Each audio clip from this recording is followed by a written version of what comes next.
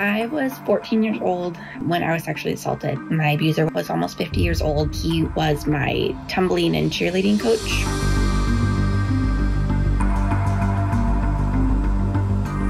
In middle school, this cheer gym opened down the road for me. I started getting lessons. And that's where I met my coach, Dave. The day that he assaulted me wasn't the first time that he had touched me, but it was the time where he went farther.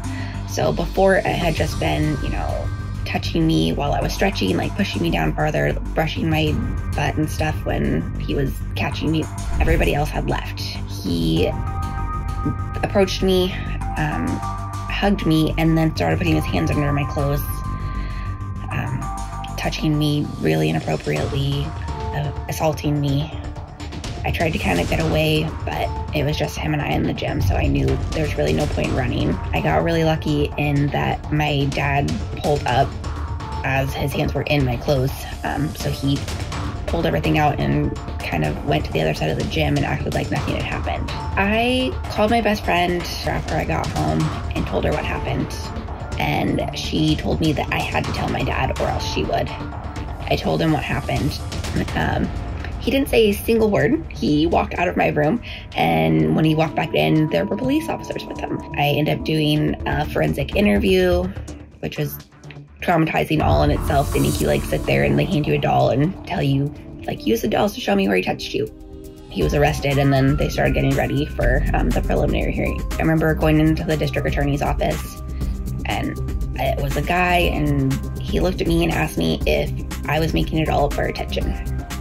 And that was horrible.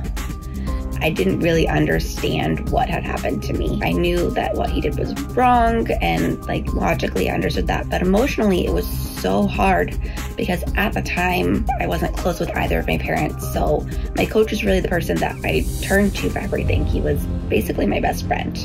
So when all of this happened, I was almost heartbroken because the person that I relied on most hurt me and then disappeared. I felt really alone. I remember going back to school after he was arrested and just staring at the floor when I walked because I felt so ashamed. We didn't end up going to trial. He plea bargained and pled guilty. My abuser was sentenced to 30 months.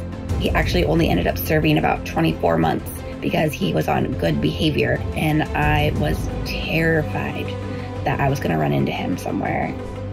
And I blamed myself really for him going to jail. I would say I didn't actually really process what happened to me until probably three years ago when all this kind of came back up and um, I connected with another survivor um, that was actually abused by the same person. Well, the thing about child sexual abuse is that it, it doesn't just hurt you when you're young. It's something that even talking about it now, it hurts me mentally and physically. In fact, um, if I don't take really good care of myself and I talk about it a lot, I get migraines.